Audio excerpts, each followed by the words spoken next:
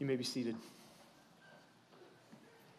We're going to take a few moments at this point in our service this morning to reflect on the death of the Lord Jesus Christ in the place of believers.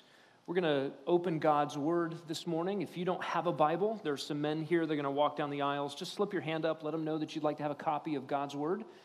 And uh, what a rich treasure to have God's self disclosure in our own language. And uh, if you don't own a Bible, we would love for you to have one. So this would be our gift to you uh, to take home and to read for yourself.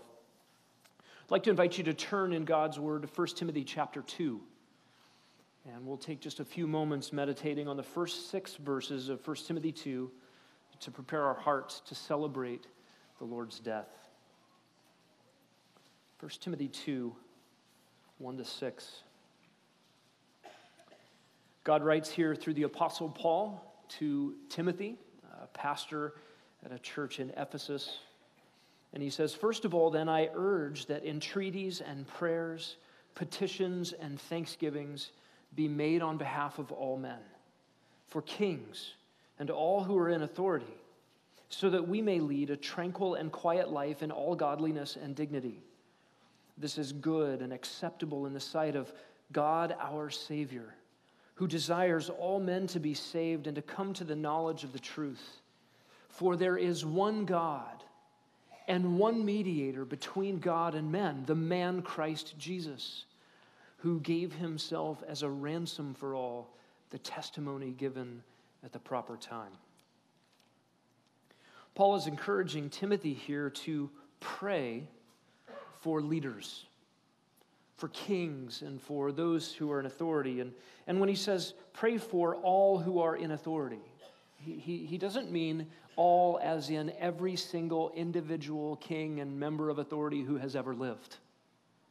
Uh, but kings and authorities of all sorts and all kinds. And, this is really a shocking statement when you think about the kinds of leaders that existed in Timothy's day. You don't have to think long about the Herodian dynasty or the Emperor Nero to understand that this would be a difficult task. You, you want me to beseech the Lord on behalf of the enemies of the gospel, the enemies of the church, the people who are persecuting us? In fact, the emperor who would be responsible for Paul's own martyrdom. You want us to pray for that kind of person? And the reason for that is given in what follows. So that we may lead a tranquil and quiet life in godliness and dignity, we are to be the best citizens the Roman Empire has ever known, says Paul to Timothy. Furthermore, this is good and acceptable in the sight of God our Savior. Notice how God is described in verse 3.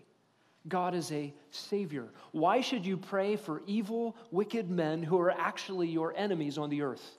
Because God is a Savior. And he goes on in verse 4 God, a Savior, desires all men to be saved and to come to the knowledge of the truth. And the word all here in verse 4 ought to be understood the same way all is understood in all of these verses in 1 through 6 of 1 Timothy 2. That is, not every single individual who has ever lived, past, present, and future, but all kinds without distinction, uh, without discrimination, without a, a prejudicial view of the kind of people that God would love, the kind of people that God would save. God has set his loving affection and saving work upon people who do not deserve it. And what Timothy needed to be reminded is you can pray for your governmental leaders who might be opposed to the very things you hold dear because God is a savior. God is a savior of those kinds of people. In fact, all kinds of people. And so we pray for them. We desire to live godly lives before them. Further explanation is given in verse 5, and here's the key For there is one God and one mediator between God and men, the man Christ Jesus. And Jesus the Christ, Jesus the Messiah, is here called a man, emphasizing the fact that he came in the flesh and dwelt as a man. It's not to negate his essential deity. This was God in the flesh, God as man, born at Bethlehem to endure a death on the cross. And he is the only mediator he is the only possible mediator. He is the only go between between the creator of the universe and sinful humanity. this points out the universality of the gospel and the exclusivity of the gospel.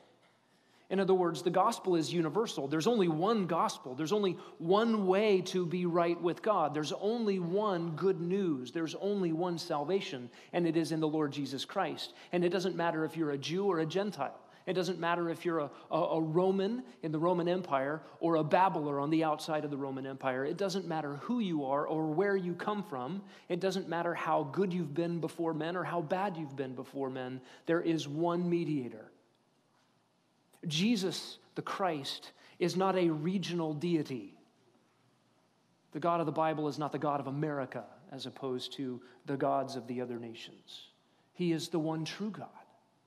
And there is only one mediator between God. This is the universal claim of the gospel for all kinds of men, without distinction, without prejudice. People from every tongue and tribe and nation and people are to be rescued by the blood of this Messiah. There is one mediator. This gospel is universal. And because there is only one mediator between God and man, the man Christ Jesus, this gospel is exclusive. You can't get in any other way.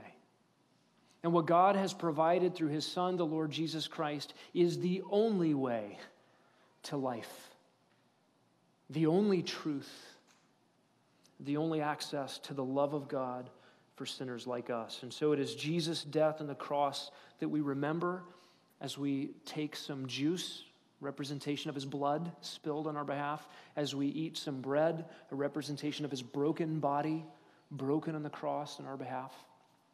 These emblems we take are a, a tangible reminder that the cost of our redemption was the infinite cost of the death of the Son of God in our place.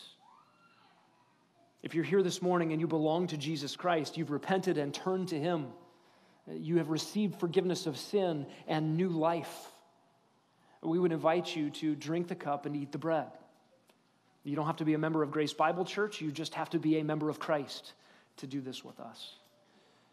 If you're not a believer in Jesus Christ, our invitation is a little bit different. Just let that juice and let that bread go by you to the next person. This is a tangible memorial for those who have placed their faith in Jesus Christ. And it would actually be a danger to you to take part in this tangible memorial without having actually been changed at the heart level.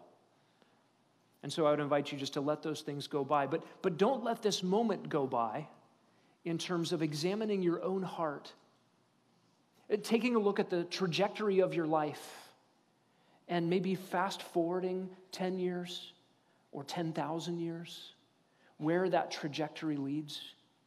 Listen, you need to know that today you could be a new creature if you will but turn your life over to the Lord Jesus Christ and experience the forgiveness of sin that He purchased at the cross.